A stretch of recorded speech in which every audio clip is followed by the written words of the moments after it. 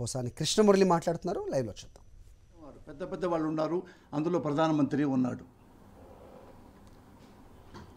అలాంటి వ్యవస్థని పవన్ కళ్యాణ్ వాలంటరీ వ్యవస్థ ట్రాఫికింగ్ జరుగుతుంది. అంటే ట్రాఫికింగ్ అంటే ఆడవాళ్ళు తిరుగుమూతులని ఆడవాళ్ళని యాడకో పంపిస్తారని ట్రాఫికింగ్ అంటే అదే అంటే చాలా అసభ్యంగా ప్రవర్తిస్తారు లేడీస్ అని అతను ప్రజల ముందు చెప్పేశాడు.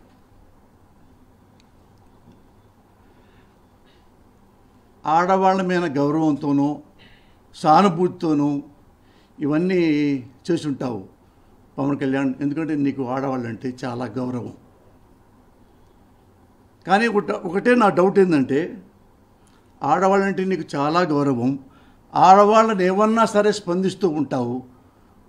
మరి మన తెలుగు సినిమా ఇండస్ట్రీలో ట్రాఫికింగ్ ఉంది అని చంద్రబాబు అనుకో చెప్పారు. మనం ఎందుకు స్పందించలా? నేను అబద్ధం చెప్పట్లేదు. తెలుగు సినిమా ఇండస్ట్రీలో లంజం లేరా అని చంద్రబాబు గారి ప్రియమిత్రుడు బిఆర్ నాయుడు వాడి టీవీలో టీవీ ఫైవ్లో లైవ్లో చెప్పాడు. సార్ ఒకటి ఇవ్వండి అది. బాగాలేదు. మీ సినిమా పరిశ్రమలో బ్రోకర్ లేరా? మీ సినిమా పరిశ్రమలో ఆ, లంజముండలు లేరా? బాగాలేదు.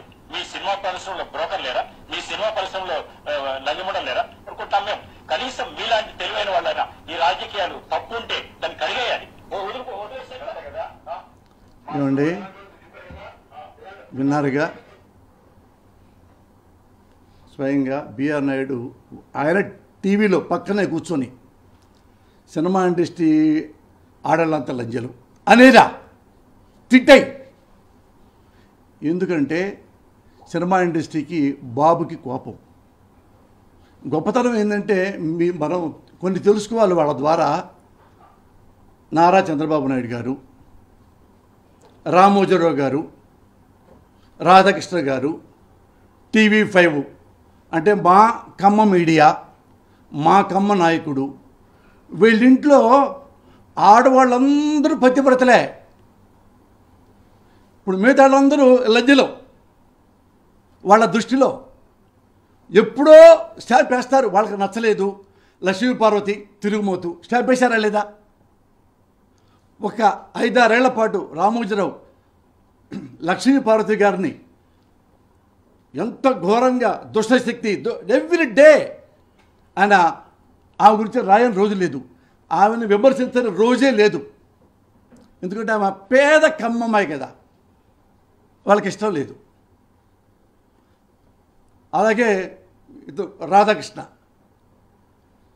లక్ష్మీ పార్వతిని డెబ్బై ఏళ్ళు ఒక అమ్మ నాయనమ్మ వయసు ఉన్నామని ముప్పై ఏళ్ళ వాడితో అంటగట్టి లవ్ పెట్టాడు.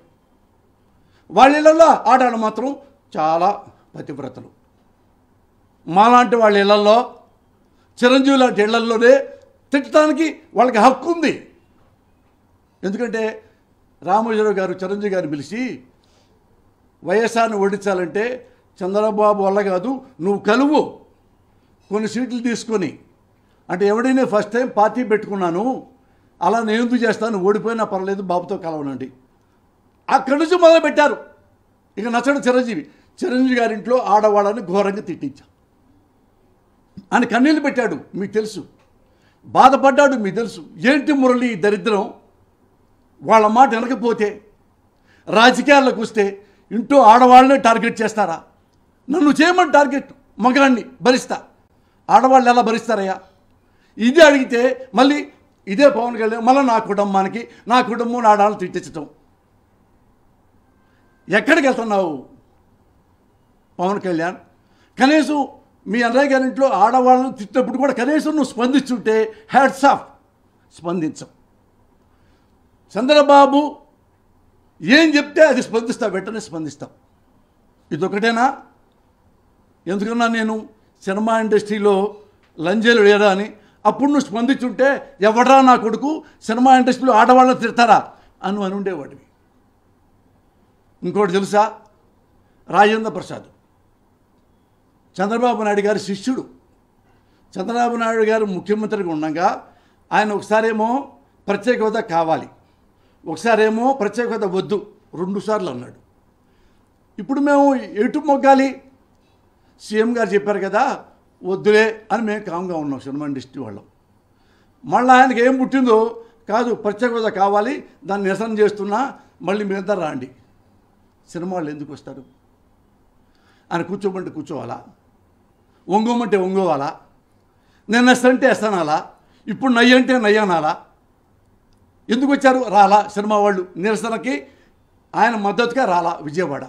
దానికి ఆయన శిష్యుడు పంపించాడు చంద్రబాబు నాయుడు. తిట్టరా తెలుగు సినిమా ఇండస్ట్రీ వాళ్ళని.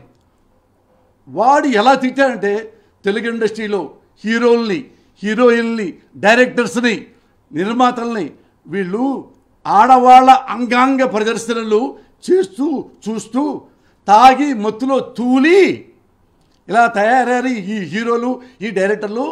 అదే మా చంద్రబాబు పిలిస్తే రారా మీరు? ఇన్ని తిట్టాడు.